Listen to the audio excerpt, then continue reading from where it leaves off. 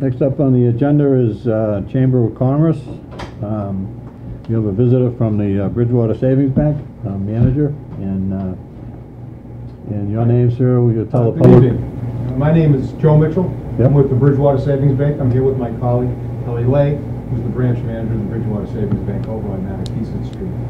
Just want to talk briefly about uh, the relationship that Bridgewater Savings Bank has had with with the town of Pembroke.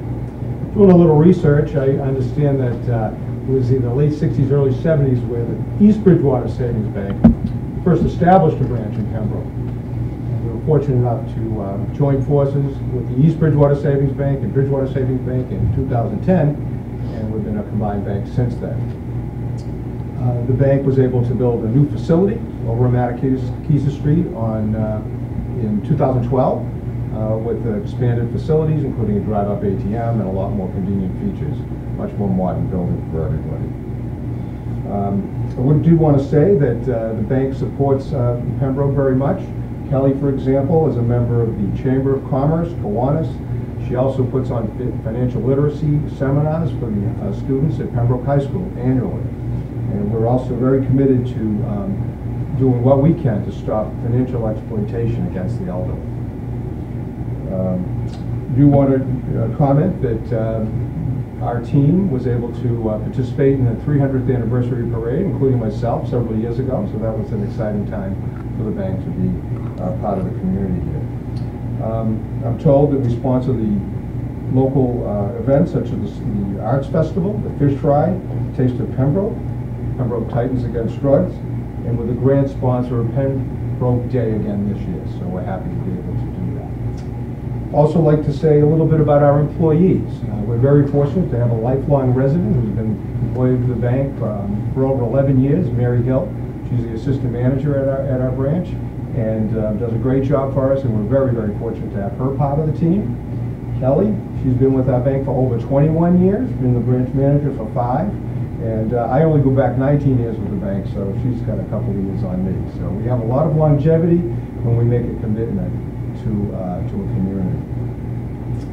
Um, Do want to uh, mention a little bit about the bank. We have eight branch locations. We have a loan office over in uh, the Wrentham area, and we also have what we call the Bridgewater Financial Advisors, uh, which is in Bridgewater as, as part of our uh, efforts to serve our customers. Uh, Like many community banks, we have four major lines of business. The deposit side, which I'm involved with, with Kelly. Uh, We also get involved with loans. Just recently, um, Kelly was certified to be able to take home equity applications over at the branch, so that's exciting for us. But we also have traditional mortgages um, and business loans for small businesses. And of course, I mentioned a little bit about our financial advisors. They do trust and investment, so they do a great job. It's one thing that, uh, that we bring uh, as a group uh, to our customers and our- the community is that we work as a team for, with all of our customers and representing all of those areas. We meet on a regular basis to do what we can to make sure our customers have all of their needs filled. So, I'd like to wrap it up, thanking the selectmen, thanking the Chamber of Commerce, and also the Fire Department and the Police Department, who've been very supportive of us over the many decades we've participated here uh, in the town of Pembroke. So that's what I have. I don't know if you have any questions or comments? Does the board have any questions of, um, I have a question, Mr. Chairman. yes? First of all, thank you for coming in. And my question would be, with banks like Bank of America that are national, almost international, how do you compete with them? We, uh, we find it a challenge. They certainly have um, many more resources, both financial and human resources than we have.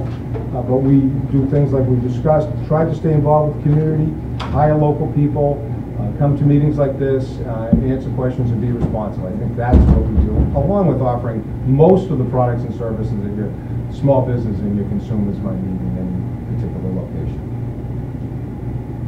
Okay. Anybody else? Huh? Just a, a comment, um, Bridgewater Savings has been very generous with their, um, contributions to Pembroke, um, events, and he mentioned Pembroke Titans Against Drugs and, uh, the Chamber and so on, and, um, you know, uh, Kelly is no stranger to, um, you know, the after-hours, uh, events and things that the bank uh, sponsors and participates in, and they're a good corporate citizen, and we're glad to have you. Thank you very much. Very good. Anybody else? No? That's good. Okay, well, have a great evening. Okay. Thanks again. All right, Thank for you. coming in.